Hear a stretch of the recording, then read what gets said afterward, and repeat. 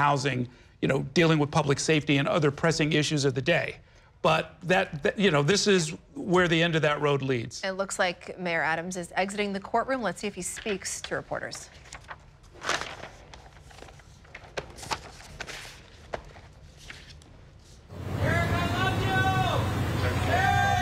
The mayor entered a plea of not guilty. He's innocent.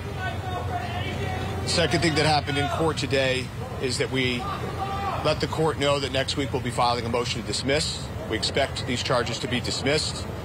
You all remember the Brian Benjamin case, similar shaky theory. That case was dismissed.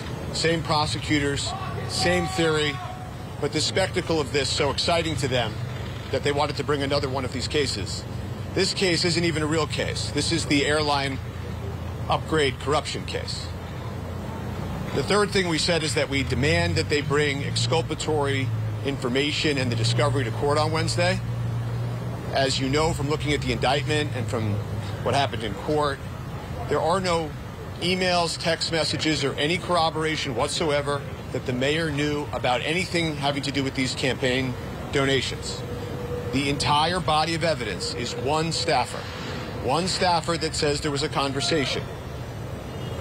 What you have not learned is that that staffer has lied, and the government is in possession of that lie. When that staffer was first interviewed, that staffer said that Mayor Adams knew nothing about this, he was not involved in this, and that he is innocent. They have that information. They have not turned that over to us. They have not turned that over to you. And so it sort of does not surprise us that they did not answer any questions at that press conference, their little press conference the other day. They have no answer for any of these questions. And they didn't want to stick around from questions either. Questions like, why are they doing this? Why are they targeting him? The questions you all started to ask as they were leaving. They normally answer questions. They didn't want to stay for questions in this case. And they left and they made this assertion or this, they implied that somehow he's disappointing people or that people ought to be disappointed in him. It's not him doing this.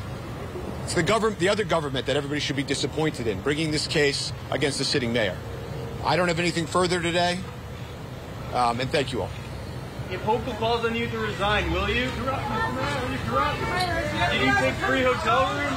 So there you have it. Mayor Adams not speaking himself, but rather his lawyers speaking after this arraignment where he entered a plea of not guilty. A lot of news cameras outside of the courthouse, of course, and you could see the mayor now getting into his car getting away from it here. And he also, again, as Dan Rivoli was telling you, he has other events on his calendar for today. So again, you're seeing this live picture, the mayor leaving the courthouse. Let's break down what we just heard.